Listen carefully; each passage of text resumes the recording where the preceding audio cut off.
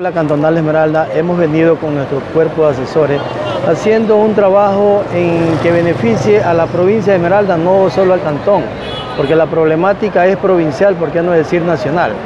Eh, agradecerle también al señor Valentín Bolívar, que es nacionalidad española, ya tiene viviendo más de 30 años aquí en la provincia de Esmeralda, quien va a trabajar con nosotros en un convenio para dictar curso a 20 líderes que son las personas que vamos vamos a enviar a la provincia de Esmeralda, a los cantones, a los siete cantones, para que sean ellos quienes coordinen al agricultor. Vamos a trabajar con el pequeño productor, queremos que la intermediación de una vez por todas no desaparezca porque va a ser difícil.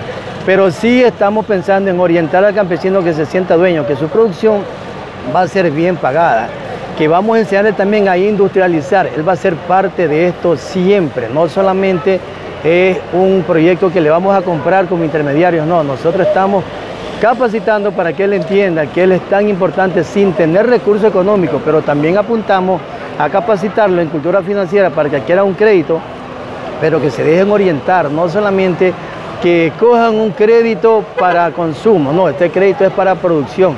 Nosotros tenemos un equipo técnico que estamos haciendo eso. También agradecerle al gerente eh, eh, de Ban Ecuador, al ingeniero Luis Pérez, quien ha visto en el centro agrícola un trabajo eh, de fortalecimiento porque nos ha permitido hacer la ficha técnica para que ellos tengan un diagnóstico ya de lo que va a suceder cuando va su técnico y que no demore tanto. Nosotros nos estamos dirigiendo directamente al territorio con nuestro equipo técnico. Hemos viajado ya eh, lo que se llama todo el río Cayapa, el río Santiago.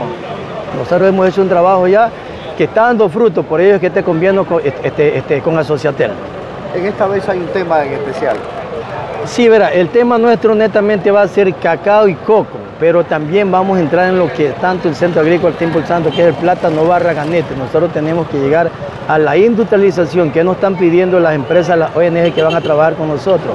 Primeramente, muéstrame qué estás haciendo para poderte dar recursos, no dar ese recurso para ver qué vas a hacer.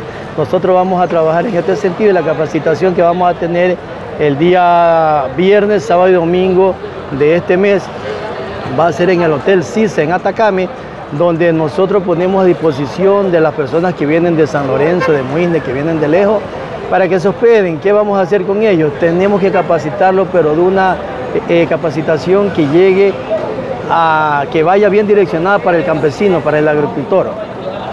Ya se han empezado a dar resultados de esto que ustedes han señalado, la producción de cacao, de plátano. Sí, verá, nosotros estamos trabajando con Asociatel, recién iniciamos este proceso, pero Asociatel ya viene dos años trabajando. Si él hizo ya un trabajo de investigación, lo que se llama socioeconómico, el productor, qué come, qué produce, porque tenemos que atacar es allá. Nosotros no estamos hablando en función de porque estamos en campaña política, estamos ofreciendo, no, este es un trabajo que va a perdurar para muchas generaciones. Esta capacitación es solo por estos tres días, por ahora. Sí, la primera etapa, porque nosotros estamos trabajando en etapas. Sí, nosotros tenemos tres capacitaciones, en las cuales usted sabe que capacitar tres días de todas maneras es bien... Es difícil, pero la gente que quiere lo hace. Nosotros entramos en el primer periodo hasta que sea el primer trimestre, enero, febrero, marzo, tenemos que tener ya 600 personas capacitadas dentro de lo que van a replicar estos líderes que le llamamos nosotros.